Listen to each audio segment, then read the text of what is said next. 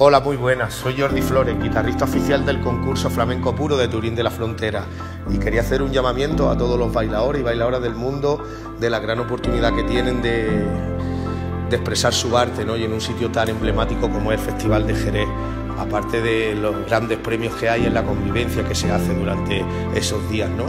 Y desde mi punto de vista os lo recomiendo a todos, ¿vale? Y espero veros a muchos de mis amigos y amigas de todo el mundo. Un beso grande para todos.